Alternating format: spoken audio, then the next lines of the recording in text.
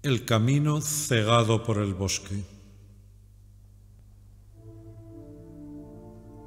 Créeme, no es piedad lo que siento por ti, ahora que estoy lejos, sino un recuerdo herido. Por ti y por el camino cegado por el bosque, que no pude seguir aquella noche joven, perfumada y abierta como el cuerpo de un pino.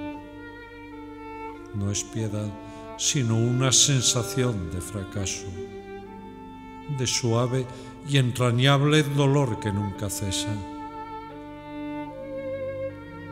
Fuiste buena conmigo en mis días de entonces.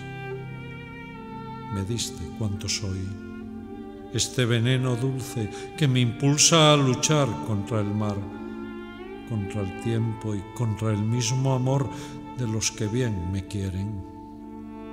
No es piedad Aún te busco en la noche perfecta, deseoso, sediento de tus colores ácidos, de tus estrellas frías, de tus ramas y ríos helados tras los cielos del más hermoso invierno.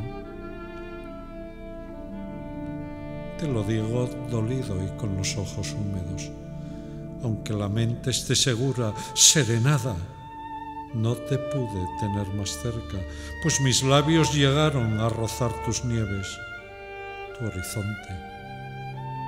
No es piedad, créeme. Solo sé que una tarde avanzada, profunda, descendí de aquel monte puro y purificado como un fuego de junio. Creí volver a ti definitivamente y me encontré el camino cegado por el bosque.